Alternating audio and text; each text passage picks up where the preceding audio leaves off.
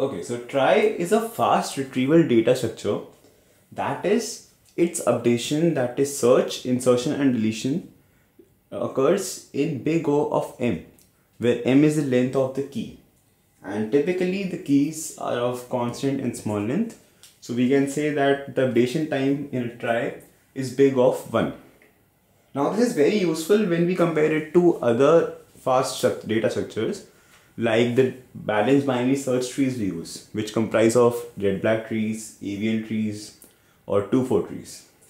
So in those cases, the updation time is dependent as big of log n, where n is the number of nodes in the tree. Now here in trie, it is independent of the number of nodes, that is the number of keys, and it depends only on the length of the key, which is small and thus can be approximated as big of 1. Now let's see how we can do this. So we construct a node which has two fields. One is a boolean that is the end of word. Uh, sorry, I've written EOC, it's EOW, end of word.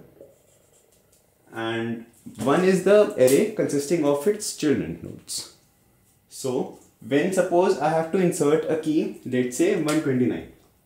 So what I do is first I create a node and that is this node and uh, let's say my, all of my keys are integers so my maximum character set is of size 10 so no sorry it's of size 9 that is integers from uh, 1 to 9 let's say i'm including only integers without zero only digits without zero.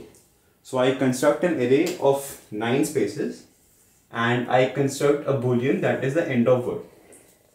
Now i uh, assign I give this node that is the first in zeroth index of the child child array as a node with a new node.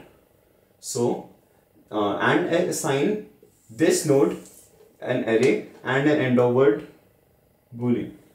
So in this child I assign the index 1 as a new node and in this I assign the index 8 as a new node.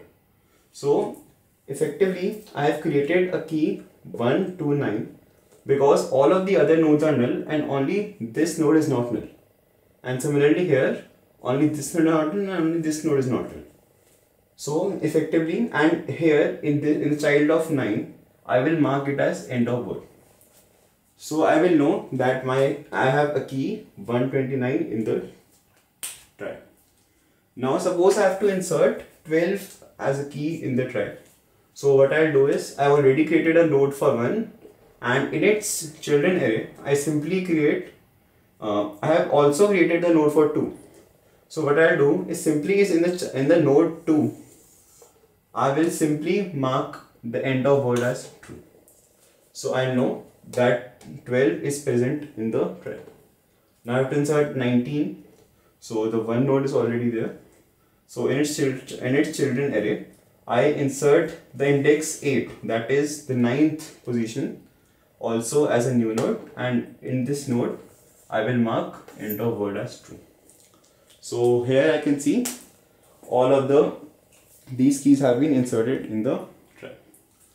So the trie brings down the order of insertion as big O of m because for inserting 129 it only took me 3 steps for insertion of 12 it took only 2 steps and insertion 19 it took only 2 steps.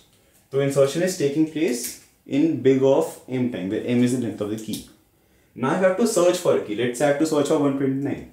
Then also I can do it in big of m because first I go to 1 then I go in its children array I look at position 2 and in its children array I look at position 9 and I check if end of word is true so yes 129 is present in the trie. So search can also be found in big O of n. Now this fast time comes with a trade-off. That is a space trade-off. So it takes up a lot of space. The space is big O of n into m into size of character set where n where m is the length of the key. n is the number of keys in the trie and into the size of character set. So in this case, we took the size of character set as 9. But in general, it can be anything. Let's say I am taking the ASCII character set, so it can be up till 255 also. So as you can see, this is taking a lot of space in into m into size of character set. So that's why trie is not efficient if we have a large amount of data. But for relatively small data, it is a very fast retrieval structure. So yeah, thank you.